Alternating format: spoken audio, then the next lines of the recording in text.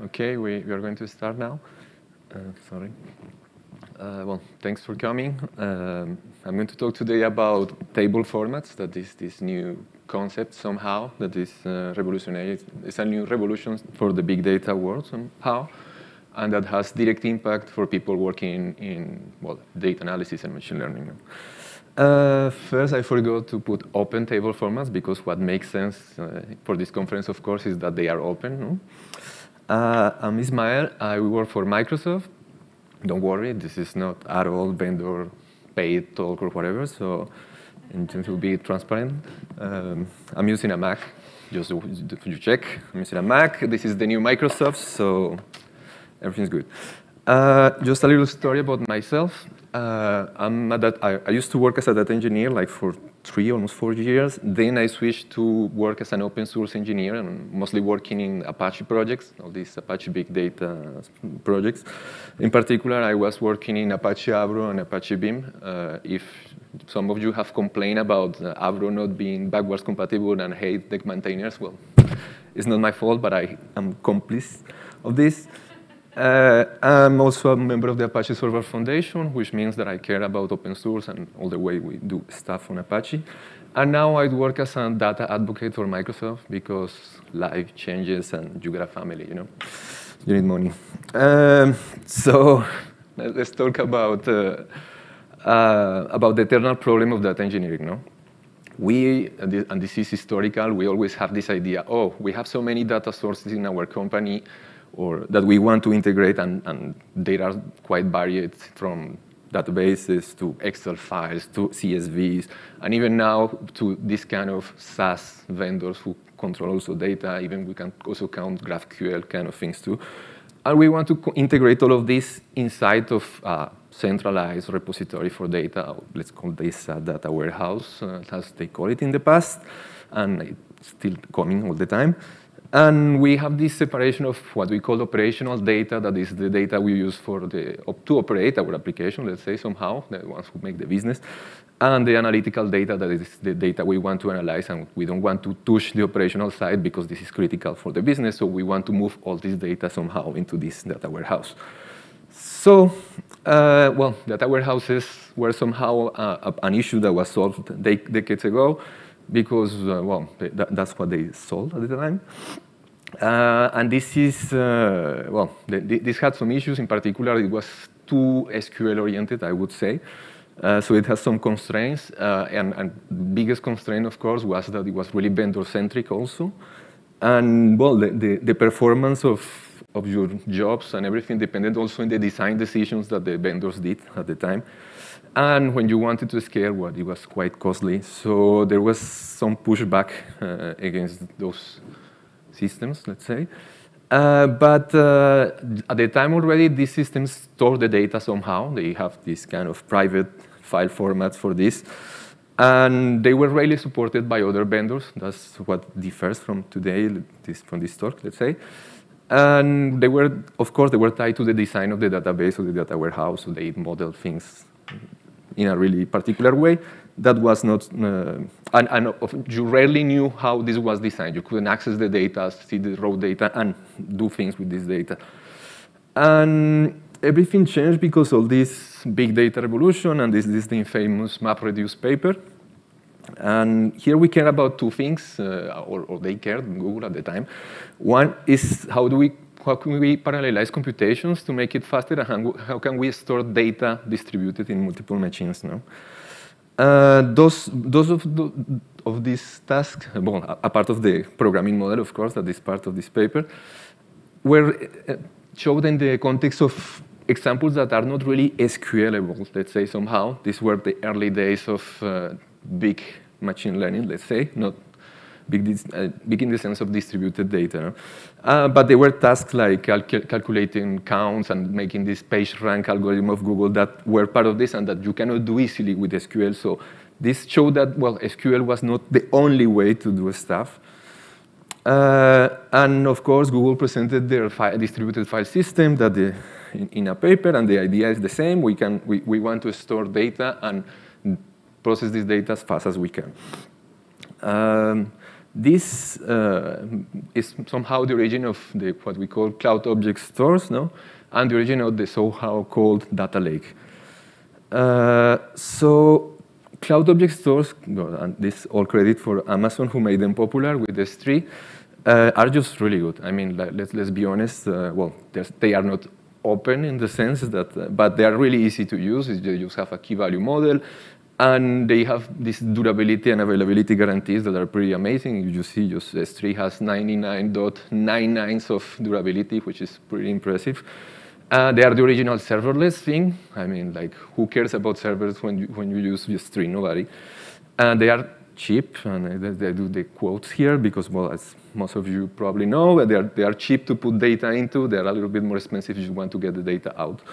Uh, and of course, they were really supported rapidly by all the different projects, open source projects, and, and so they have a massive support in the ecosystem. And they have a lot of little nice extras like multi-region replication, and they have control for permissions. You can program events when the data, when files are written. There are a lot of nice things. So, so it was kind of natural that database applications or, or, applications oriented to data were going to end up putting the data inside of this uh, sort of distributed file system. No? Um, and with this uh, ability to put data in, in this distributed file system, what came was that uh, the mindset started to change. And it started to change in the sense that, wait, we can have copies of our data for cheap, and, and we can somehow think that they, we have infinite space to do everything.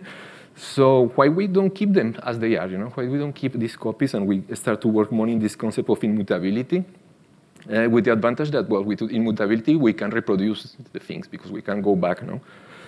Uh, this is the pa paper about Pat Helland that, that is really interesting read if you, if you care about these things. Or if you want a more familiar kind of presentation, this is Rich Hickey, who does all these Clojure presentations, who also has a talk where he mentions the impact of this new way of thinking about uh, data. Like, just think we have infinite data and the consequences of, of that. Uh, but of course, well, when we have this kind of data lake concept, well, we think we can put files inside of, of the data lake, and that will do it. But the true story is that, well, uh, it's, it's not so easy, no? Uh, as many of you probably have lived it, the first thing when we have data in a format that is not structured or, or with a schema associated to it, is that we have to fix this. Somehow we have to give it a schema we have to clean it. We have to normalize the, the, the different columns. This is inevitable. So there's a little bit of, uh, I wouldn't say a lie, but it's not so free, unstructured as, as we want. Of course, the advantage is that we can have uh, other type of formats there. We can have images, we can have sound, video, whatever. Uh, and of course, logs, that is also something that we use a lot for analysis. Uh, so this idea that let's put our raw files and everything will work, uh, well, it's not so easy for two reasons. Well, first one, because the files we use to do this kind of analysis or, or um, machine learning algorithms sometimes are not fit for distributed systems.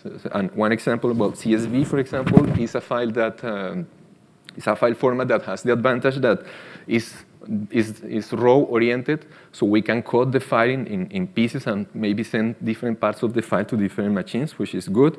But well, it's not efficient in the sense that it's not encoded in a proper way. It's textual, so it's super big.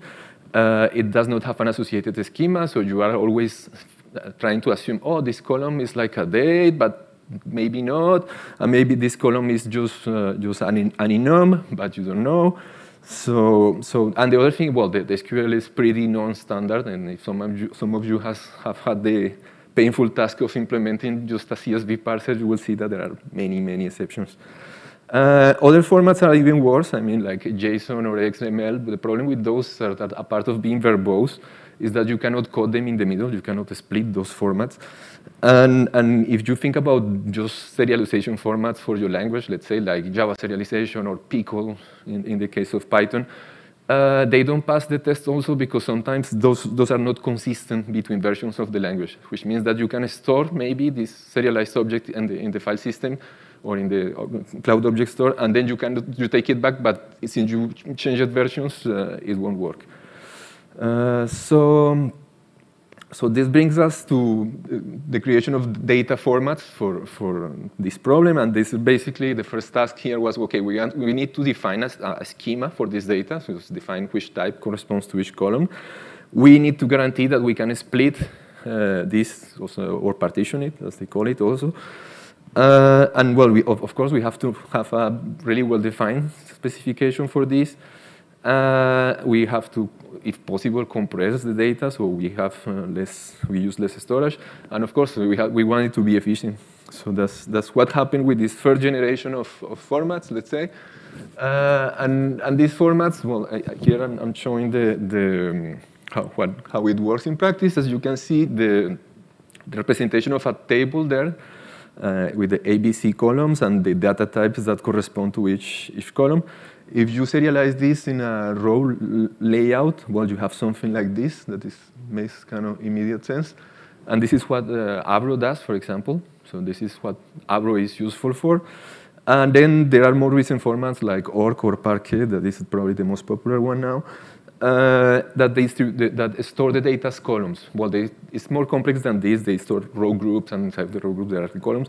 But what is interesting is that if you only care about one or, or two of these columns, well, you don't need to read all the others. So you can jump with pointers inside of the implementation and, and let's say offsets or pointers to, to, to the specific parts that you care. So this makes reading faster, no? And what we can on, in all this distributed data stuff, what we care is to read the less we can. That's our goal, no? We don't want to read more because it's too costly.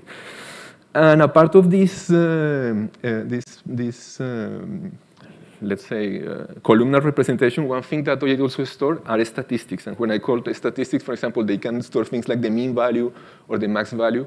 And this, and this is pretty cool because I, I won't even need to go and get the data. I can just immediately get, oh, this is the, the minimum value. So that's also good for, for querying. So we, we, we had these formats, we have these, these files, but we still don't have, a, let's say, a SQL-like representation. So in, at the time, it appeared a, pro a, project called Hive that was the first one that bring this concept of, OK, we, with these files, we can represent a table somehow. So, so it's like a data warehouse for, for large data sets, and, and it's, it's totally oriented to a SQL uh, experience. Uh, this is the appearance of the concept of table format explicitly, and as you can see, what we are defining is just an external table, and we set up the compression we are using, and we set up the table of files that we're using, in this case Parquet, and we set a location. In this case, well, I'm, I'm using the location for, for, um, for, for uh, one of these object stores. In this case, is this is the, the Microsoft one. Uh, and, and okay, that's, that's how it is. So we put files inside of a directory and we read them.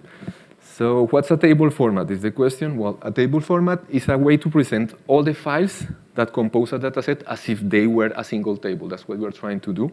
Uh, the way that Hive does it is with a directory.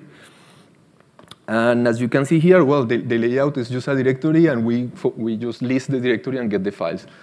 What is the issue of that? Well, that is can be slow for some particular cases. We, if we, for example, want to filter stuff, and like in this query, uh, well, we have to read everything. We, we cannot uh, to, to know the results. So what people ended up doing was just creating a concept of manual partitioning inside of these uh, directories. And as you can see here, well, they put just the date, the specific date, and then they put the specific hours of data, and when you do the query, well, you are going to re re reduce the, the, quantity of data that you are going to read. You just go a little bit uh, uh, logical, let's say, somehow. Uh, but you have to be aware of this. That's, that's, the first issue, because, well, you as a, as a data scientist or, or someone who is not the data engineer who is dealing with the infrastructure, well, you, you cannot know these things uh, in advance. Uh, so, but the cool thing, let's say somehow, is that Hive became the standard format for everything. It started to be supported not only uh, by, by, I mean, not only this table format was supported not only by Hive, but by Spark, by um, the, all, the, all the other systems.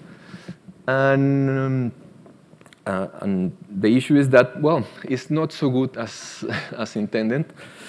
Uh, I, I, couldn't find a better way to put it because uh, that's the truth. I mean, updates suck in, in, in, this model.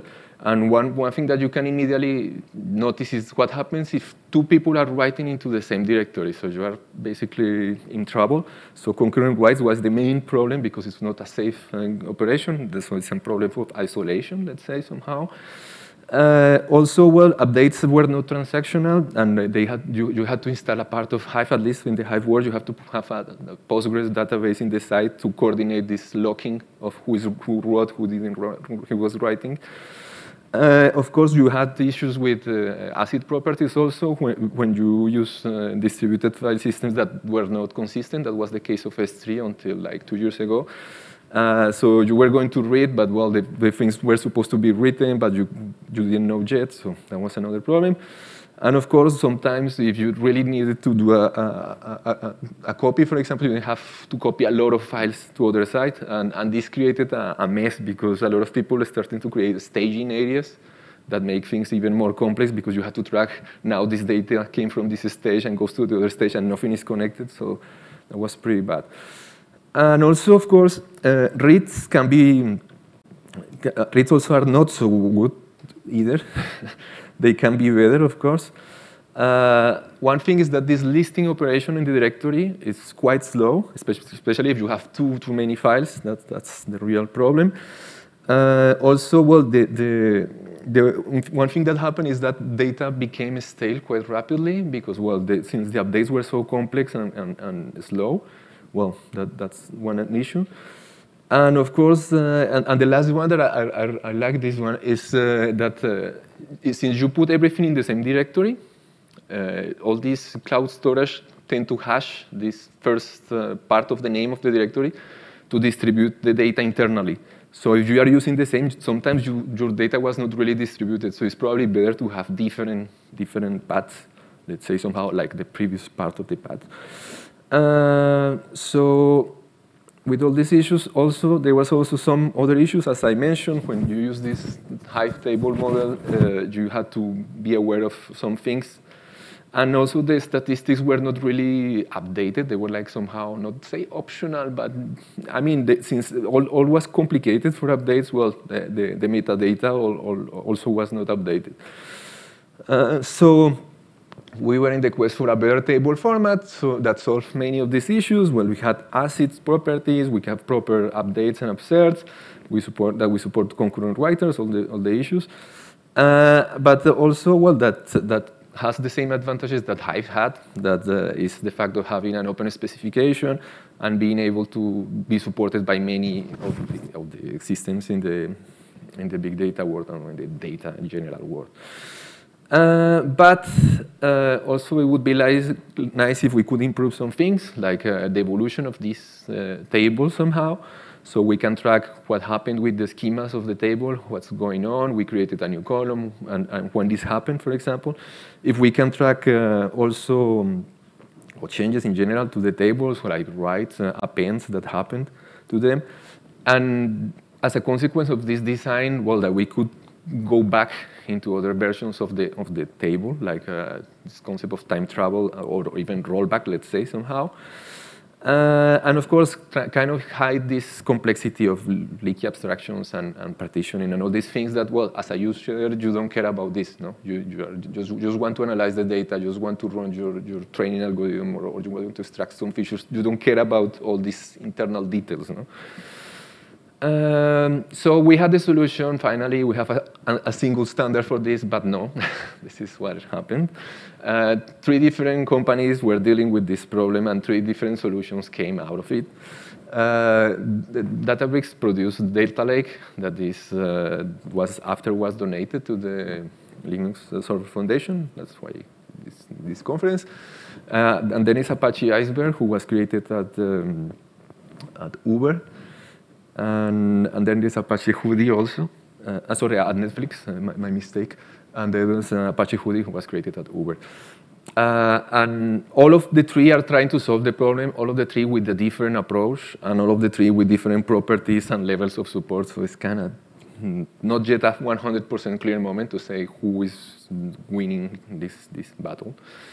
Uh, so we ended up in this kind of XKCD situation no? when, when we have uh, more standards. We, we, are looking for one unified standard. We come from the unified standard that was Hive, and now we are we are getting into an extra standards. Let's say it's not the it's not the it's not the exact case from here that they're proposing a new standard that replaces the others, but three different standards arrive at the same time. So, a pity. Uh, but how how do they work? And it's quite quite simple in reality. I mean, the idea is that instead of tracking these uh, directories, what we are going to track is, is a file. It's a file that this like a special snapshot or commit that contains the list of the different files that compose the table and other extra metadata, like uh, what was the schema at this moment in time, uh, what is the current partitioning strategy, that's for the case of Iceberg at least, and the statistic that I mentioned, this kind of min-max things that can improve uh, SQL queries, and other properties. Uh, and as you can see, well, this, this, if you are familiar with Git, and I hope so, because I, I didn't think about explaining more than this, uh, you are creating snapshots that, that, can be read by, by different people, or even somebody can be writing a new version, like it happens here in, in S3. So this is, well, kind of simplified view of this in practice, and this is how Delta makes it, uh, what happens is that where we had the table bef before, now we're going to have an extra directory where we are going to put the metadata. And, and this metadata uh, is a JSON file that has the different, the different operations that, we, that, that are part of the, of the table. So in this case, we have two, two files, one and two Parquet files that, that, that compose the version zero when we create the version one, maybe we remove one of these files. Of course, this does not happen at all manually. This is done by the different al algorithms that we are running or the queries that we are doing when we are going to write into the next uh, data. Uh, the partitioning in, in, in, Delta Lake is still explicit like this. In Iceberg, it's a little bit hidden. Uh, so that's the difference. But uh, let's say somehow straightforward. No? It re reminds Git if you have seen a little bit of internals. Uh, and well, the, the problem of uh, concurrency control well was solved also. Uh, and then when, when a user wants to write, just takes the latest version that was at the moment, in this case, the first version, and both of them try to write at the same time. The first one who can write wins, and, and the other one has to retry and then update the, the version and fix the problem by themselves. Um, so how do you use this in practice? Well, this, if you are familiar with Spark, this is quite straightforward. What, the only thing that we, that we change is the format that we use. Instead of using Parquet, we use Delta, and that's most of it. If you are used to SQL kind of uh, systems like uh, Hive, uh, you just define also that you use del Delta, and, and that's it. Uh, and also, well, the consequences of this is that we have more operations that we had before. We can do selects that uh, are dependent on the version, and this, this also can. I mean, uh, this is also can be done on on timestamps. So I cannot only query version one, version two, but also query what was the version at this date. And this is, uh, I mean, this is from the data science uh, point of view. This is huge because now you can go and play with the data as it was when you trained the model, for example, so, or when you were extracting the features. So that's interesting. Uh, of course, uh, one, one thing we want to do, since they are quite similar, we want to convert this directory of files that we had with Hive into, into um, a Delta or Iceberg. Uh, so there is a way to do that. There is also ways to optimize the data, and when we call about optimizing data, in this case, we have, uh, as I mentioned, these files are partitioned, and these partitions or, or, or files can end up being of different sizes. What we want is to have like homogeneous and well-balanced size, uh, and, and this, this can be done also well, by the implementation of this, not by the standard, but the standard helps to rewrite this. Um, and also, well, we can have like vacuum-like operations, like in databases when we ignore uh, earlier data. Oops, there's a typo there. Uh, so, and finally, we, we have this log of all the operations we have done with the, with the table. So we can see the, this, these different things that have happened. We, we, added more data, we appended data, we merged data, we deleted data, and what was the version when these things happened. This is pretty good to follow what's the story of the table. Uh, so we got this kind of traceability, the same they call, I, don't, I, don't, I won't dare to call this lineage, but at least we have a, a way to audit the table changes. Uh, but of course, uh, as, I, as I said, there is more. Well, you get, uh, you get zero copy clones. So now you have one table and you want to create a copy just to make your experiment in the site. Well, that's way easier to do than before. Uh, you have, you can, if, and if it doesn't work, well, you can go back and, and roll back your changes and no, nobody's going to complain about your mess. Uh, of course, well, since we now have better statistics, well, the queries are going to be faster. And um, uh, and also, if, if, some of these systems, and in particular Databricks does this pretty well, is that they cache some of the read, read files in, in, uh, in their local disk, so they can, they can read it faster. And if they have faster disk, this is a good optimization. Uh, the table format ecosystem is, um, is uh, relatively well uh, well, filling rapidly with support from every every uh, different uh, project. and, and even while these commercial vendors are, are supporting it in some level. There are also even new vendors who are really focused on, on, on this. There is this Tabular company who is supporting Iceberg from the creators of Iceberg. There is Onehouse that is supporting Hudi. So this is uh, this is quite exciting the, the, the way this is changing. Uh, so well, just to a little bit of do a recap. Why should I care about this? Uh, well, uh, if I'm a data scientist, why should I care about this? Well, first one is because you can start uh, working on scalable experiments from the beginning, not just taking the CSV and, and then saying, oh, I cannot do anything because this one scale. So that's important. Uh, other things that you can also start to think about data versioning from the beginning, like, oh, I want to roll back or go upwards in, in, with my versions. Uh, of course, uh, well, the most important for me is that you can reproduce what your experiments uh, do, and this is key. As, I mentioned before, also you have zero copy tables, which is for to create new tables. That's super super useful also, and you can roll back in case that that things don't work. So that's I think the, the, the ones who are winning the most are, are the data scientists with this. Uh, what should I care about this if I am an open source contributor? So if you are working in creating data tools or ML frameworks, let's say somehow more, more in, the, in the tool side. Well, one thing is that there are new possibilities to create new projects for this. For example, I don't know, I can imagine if, what if I want to move from Delta to Iceberg? That shouldn't be that difficult because it's just metadata, no? But I haven't seen yet a project that does that. Uh, also, I mean, if you already have uh, support for Parquet or for, or, or for oh, sorry, for other of these data formats, maybe you care about integrating uh, about integrating this. Uh, like uh, now you have to support the Delta, you want to support Delta because you saw all the advantages that it has and because more and more companies are, are starting to move into that. And of course, because of the performance improvements that you can get from, from those, no? from having faster information. And this, in the end, is the, I think, is the, is the real rise of the lake house, as they call it, a strange term. Uh, the idea here is that we have uh, this in the middle uh, set of, uh, let's say, common data uh, stored in a cloud object storage, and then you put any tool that you see fit to process this data, to read it, to write it. So, so with the flexibility of being in a, in a, in a distributed file system, so you can put whatever you want into, you are not tied to the, to the implementer, let's say, like, uh, like uh, it happens with uh, a, a, data warehouse. No, if you are in, in, BigQuery or Snowflake, well, you don't know what's where is your data and how do you how can you take the, your data in time. This at least is all open. All the specifications are there. You can just uh, use it because the tools are also open. So, so for me, it's a big a big thing. So what's next?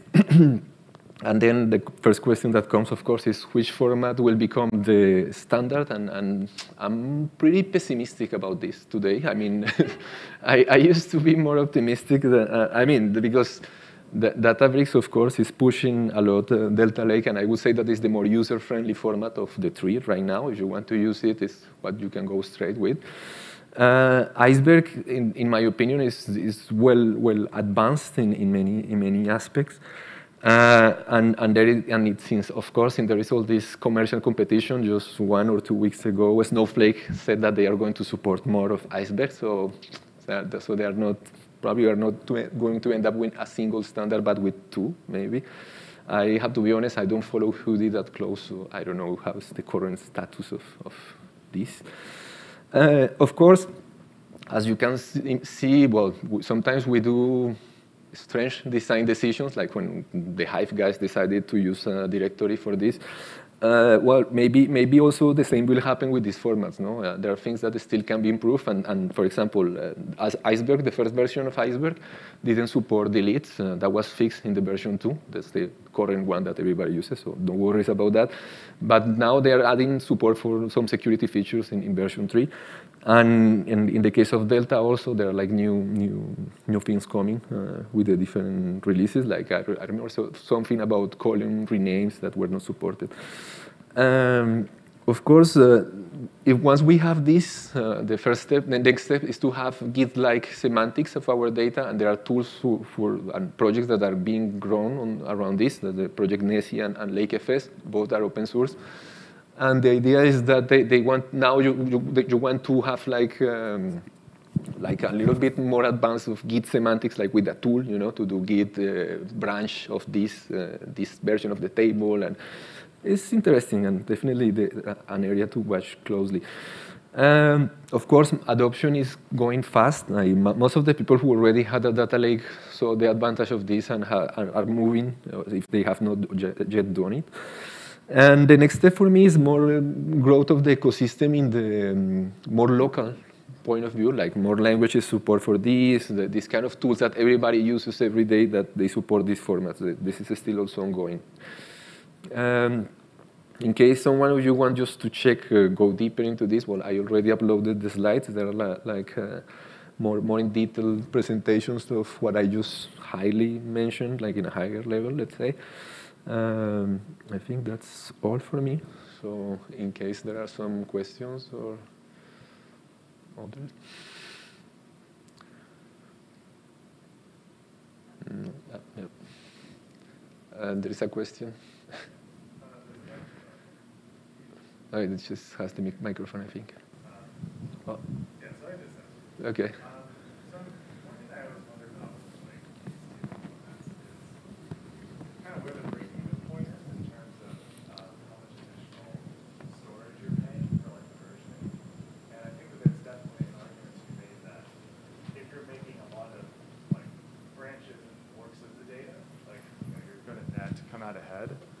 Um, but I'm kind of curious, like how you think about it in terms of um, like mitigating some of the initial concerns that you might have about like adding an extra dimension to your to the data that you're storing, right, of this version history. Like, do you think that in all cases it makes perfect sense to kind of keep like a, a full transaction log of the entire history of the table, or I, do you I think there's like a, a trade-off there that needs to be considered?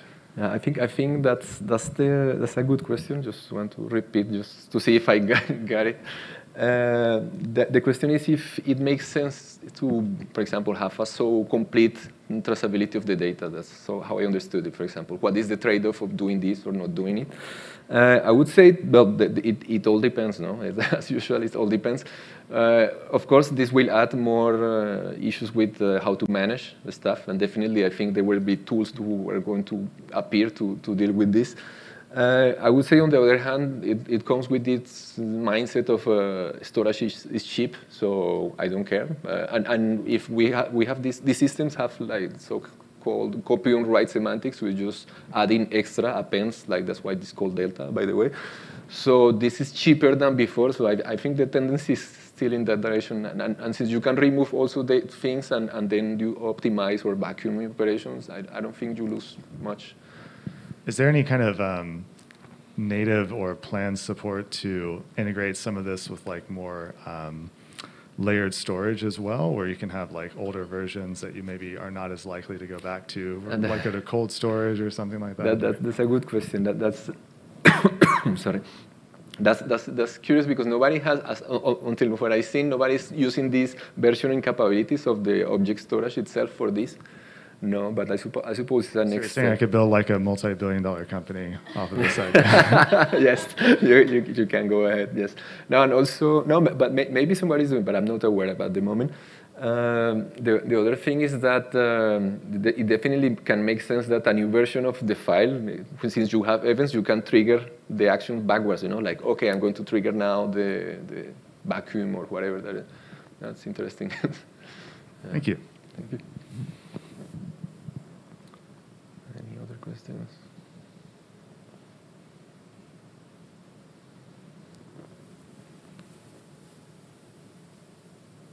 Yeah. okay, thank you. And don't hesitate to ask me. I'll be around. So.